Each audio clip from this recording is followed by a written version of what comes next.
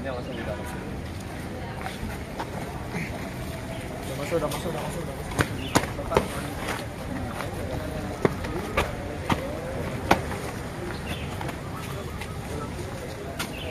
Eh, gue, gue, gue. Ya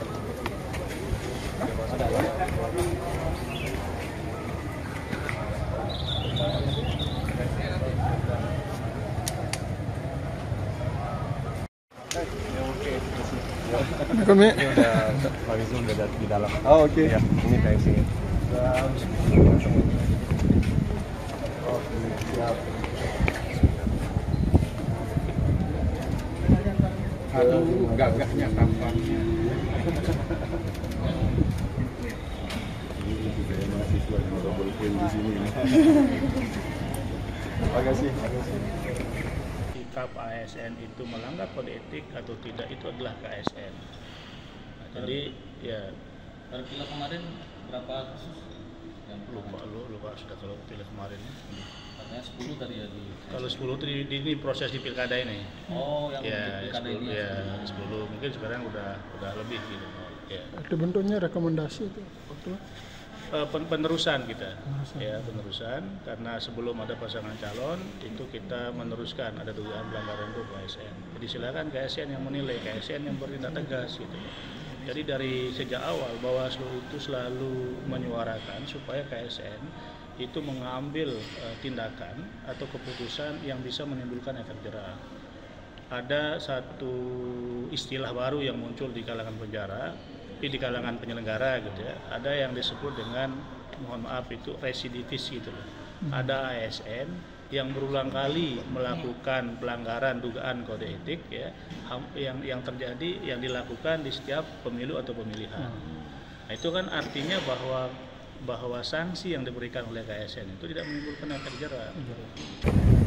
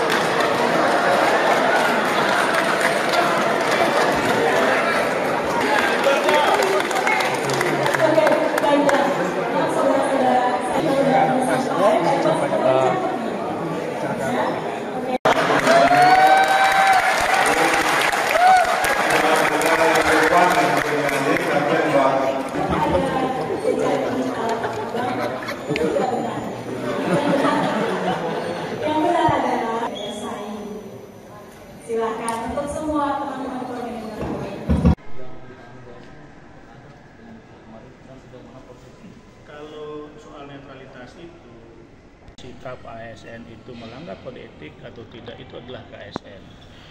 Nah, jadi ya Kalau kilo kemarin berapa kasus? Yang lupa lu lupa sudah kalau tidak kemarin.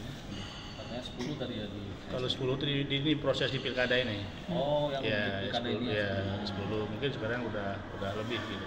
Ya. Itu bentuknya rekomendasi itu. Betul. Eh, pen- penerusan kita. Ya penerusan. Karena sebelum ada pasangan calon itu kita meneruskan. Ada dugaan pelanggaran itu KSN jadi silakan KSN yang menilai KSN yang bertindak tegas gitu. Jadi dari sejak awal Bawaslu itu selalu menyuarakan supaya KSN itu mengambil eh, tindakan atau keputusan yang bisa menimbulkan efek jerah. Ada satu istilah baru yang muncul di kalangan penjara, tapi di kalangan penyelenggara gitu ya. Ada yang disebut dengan mohon maaf itu residivis gitu loh.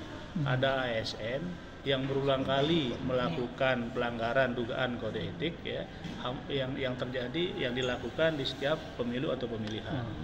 Nah, itu kan artinya bahwa bahwa sanksi yang diberikan oleh KSN itu tidak menimbulkan efek jerah. Ya, depannya langsung di dalam. 来，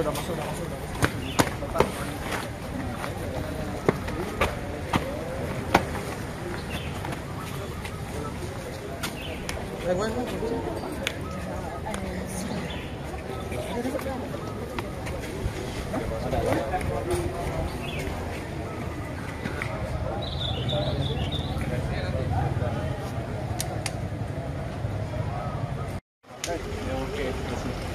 Kami. Ini udah Pak udah di dalam. Oh, oke. Ya, ini. Oh, siap.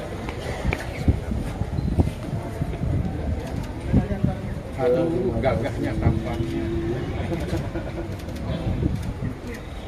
Ini juga ya mahasiswa yang double point di sini. ya. Makasih,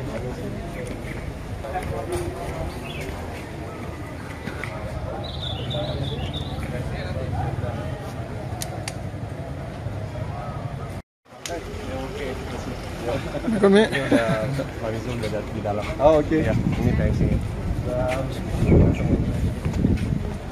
Oh, siap. Aduh, gagahnya tampaknya. Ini juga ya mahasiswa yang double di sini. ya. Makasih, makasih.